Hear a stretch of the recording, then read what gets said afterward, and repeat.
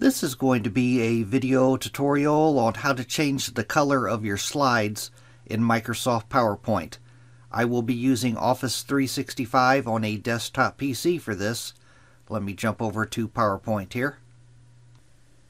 Okay, I have Microsoft PowerPoint opened up now and I have a few slides over here. To change the background color on a single slide or on all of your slides, I will show you how to do that. It's very easy to do. If you're going to change it just on a single slide, you want to select that slide. Say I wanted to change the uh, background color on this third slide here. I want to make sure that that is selected. If you're going to change it on all of your slides, it doesn't matter which one you have selected. But after you have selected the slide, you want to go over to your slide and you want to right click on the slide. Then you want to go down to where it says Format Background and click on Format Background. Now in the pane that opens up on the right hand side here, under fill. If your fill is not expanded, you need to click on this little arrow up here to expand it. And then you can uh, decide whether you want a solid fill or a gradient fill. From here you could also add a picture or a pattern fill. I'm going to select solid fill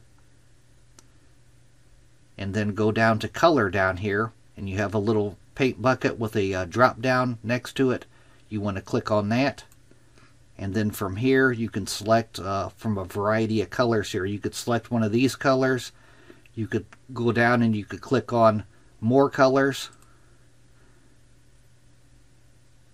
and it will open up a little color palette here. You could click on custom colors. You could add a RGB or a hex color. I'm going to click on cancel here and I'm just going to select from the paint bucket here. I'm going to select this one here. And then you can decrease the transparency. If you move this slider right here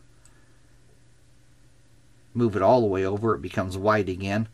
Another option you have is gradient fill I'm going to click on gradient fill here. And you have preset gradients here. You could choose from these. The direction of the gradient. You have many options to change the background color. You could click on pattern fill up here. And you can go with the pattern.